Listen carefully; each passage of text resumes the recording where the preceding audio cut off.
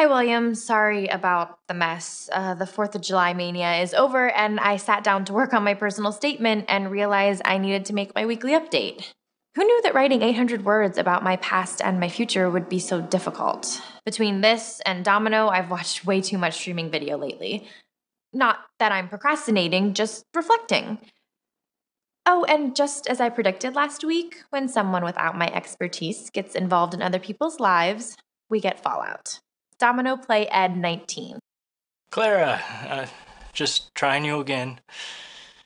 I know you're probably busy with milk delivery, but there's a Lucas Spielberg double feature this weekend, and I really think you should see THX 1138.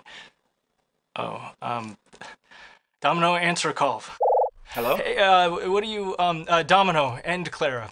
Uh, call with Clara. Sorry to interrupt, man. Uh, no, it's okay. Uh, if you're looking for the mayor, he's still down at the town council trying to convince them that Sanditon can support two spin gyms. Uh, but between you and me, uh, I think my aunt is pretty skeptical. Well, I appreciate it, man, but the size of the town doesn't matter. It's just not going to be big enough for the both of us. So we're back to Beyond Thunderdome? Two spin gyms enter. Yeah, yeah, and I know what side you're on now. Uh, what do you mean? Uh, the mayor's office is official neutral zone to all spin gym death matches. Oh, so I take it your 4th of July date with my sister didn't go well. Oh, uh, that, that wasn't a date. Um, uh, Tom Parker set that up, and, and um, besides, I didn't want to. Uh, I mean, she is hot, I, but I mean, um, I uh, hot in the the way I respect her intelligence. Dude, non-issue. Believe me, I do not get involved in my sister's romantic life, and she very kindly returns the favor. Oh, well, that sounds refreshing. Hey, if it wasn't a date, I don't suppose she happened to mention how many members she signed up to the new gym. No, she did, however, mention her 15 year plan for Spin Cycle. Yeah, that sounds like her. But I don't get it. If you're not into her and the mayor isn't playing any favorites, then why would he try to set you two up? I mean, I thought word around town was you and Clara were, you know. Yeah, but the mayor doesn't exactly approve of that. So, it's your life. I mean, why would you let him force you into awkward dates with my sister? Yeah, Griff said basically the same thing, uh, but more forcefully. She's not gonna come complain to me about how you did it wrong, right?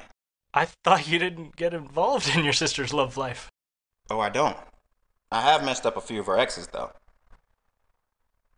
Nah, I'm just messing with you, man. We're cool. Watching that again, I think it's time I stopped reflecting and started. Hey, Gigi. Hey, Filming another update for your brother. I thought I heard Ed's voice from your speakers. um, yeah. Have you talked to him recently? He's left several messages. And are you going to call him back? Eventually. I just need a little time to prepare for that conversation. And I'd rather do it in private, if you know what I mean. Sorry, big brother, but we already have enough noses in our business. As I was saying, less reflecting and more doing. Only, I'm sorry, William, but my personal statement is going to have to wait.